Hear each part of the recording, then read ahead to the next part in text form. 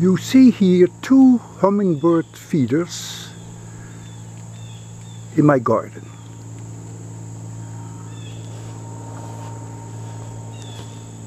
I put sugar water in there, about 25% sugar, 75% the water. It's going to be part of a physics problem but I first want you to see how they hanging here in my garden. Then I will show you later how I fill them. I can take them apart. I can unscrew the bottom part and then I can turn over the upper part so that I can pour in the liquid.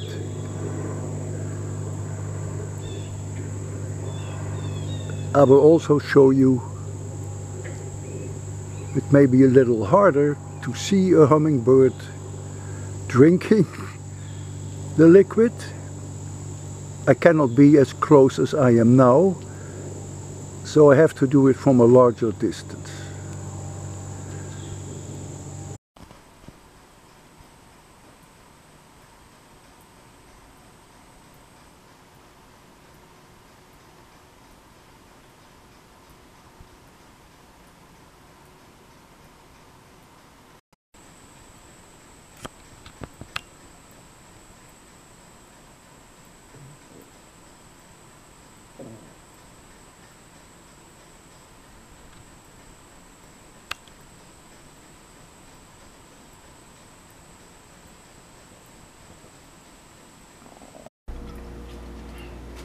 So you see now here the two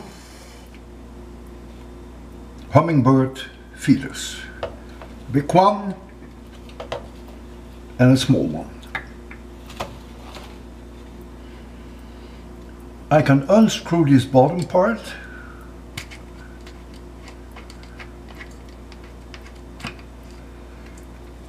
I turn it over and I pour in here the sugared water. Trust me, I put sugar in this water.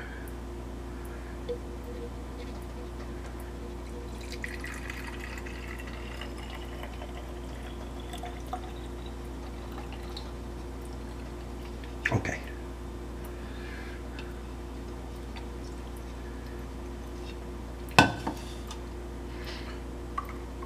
So, so this piece here is open at the location of the flowers. You see holes there. I screw it back on. And if now I turn it over,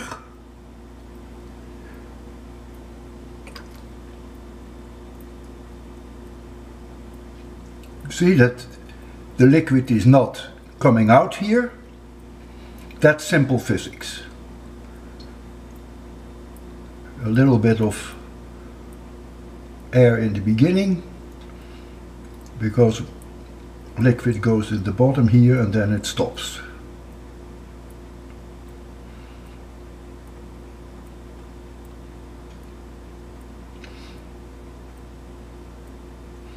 And so we're going to hang this out in the garden.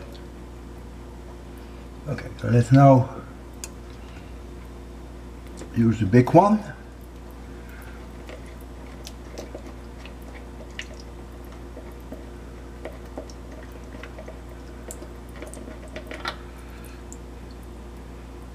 Still some liquid in here. Pour that out. I turn it over. And I put in sugar water here.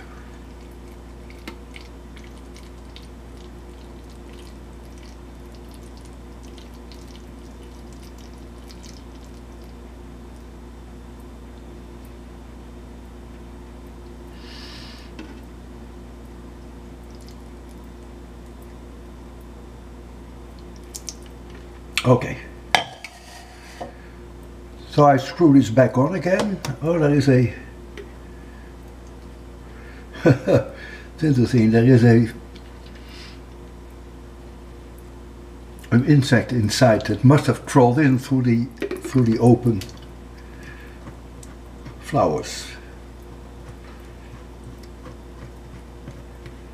Okay. So now I turn it over.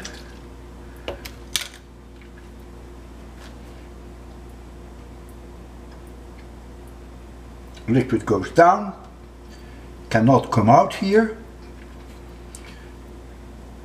for obvious reasons because the pressure above here would then go down and would prevent the water from coming out. Simple physics. So I'm now going to put them out hanging again in the garden.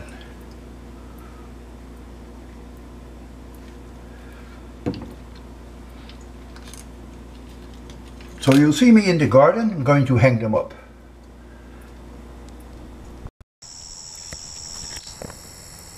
So I just put them up, here's the big one, and here's the small one.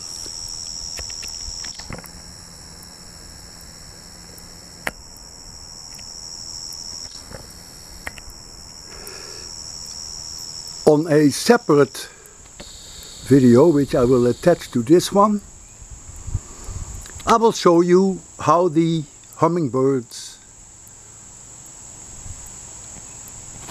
fly in here and then suck out the sugared water. The amazing thing about hummingbirds, it's the only bird that can fly backwards. No other birds can do that. It can also fly and stand still in front of the in front of the flower. But it has to keep moving its wings, of course. Now comes the physics problem. I have reasons to believe that if, but first let me tell you, of course, when you see the, the birds feeding themselves, then it's no surprise that the liquid level will go down and after a while I'll have to refill it, of course. However, now comes the physics problem. I will put some saran wrap around here so that no bird can reach the water, uh, can reach the flowers. And I still believe I'm not 100% sure, but you will check that with me. I still believe that the water level will go down. And that's a big puzzle. How can that be if no birds use the water? And it may take several days before you can really see that the water level goes down. Right now it is just a teeny weeny little bit above the the red ribbon around.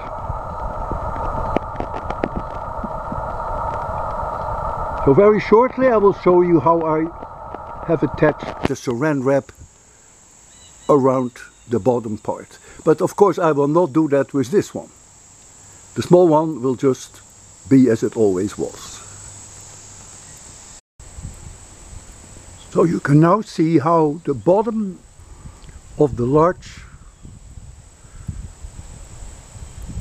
hummingbird feeder is surrounded with uh, saran wrap. I also indicated at the bottom line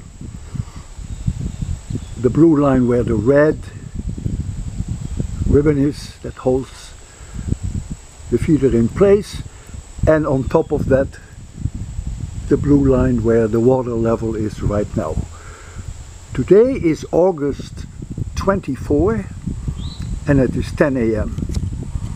Look by the way, you see here a bee, a big bee. They often also go to the flowers to get some of the sweet liquid. very common that you see bees. So later today you will see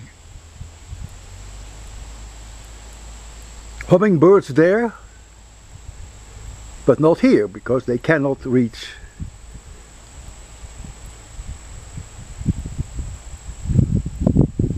they cannot reach the, uh, the flowers. So then we'll show them to you tomorrow again and maybe two days later to see whether I am right that the water level still goes down and then of course the physics problem is why does that happen? August 25, 2021 2 p.m. in the afternoon notice that the water went down and yet no bird has drank any of it. Impossible. And so, yes, it seems that it goes down. And though that's the physics problem. We will check it again in a few days because I would predict that the water also comes below the red band and when it does that, then I will post the problem. So for now we know that the water level is behind the right band and it was here before. Alright then?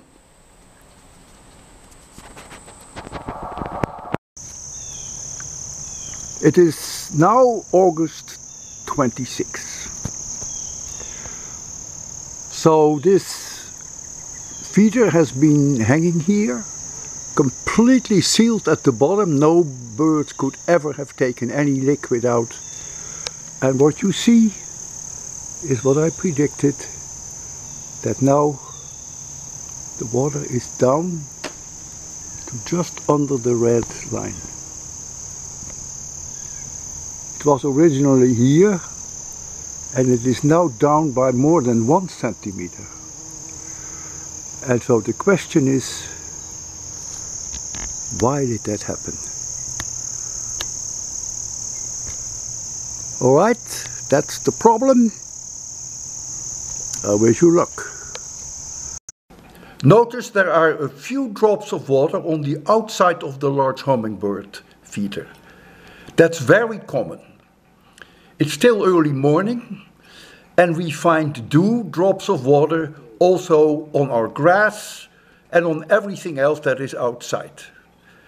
So that's not uncommon and those drops certainly did not come out of the hummingbird feeder. Okay?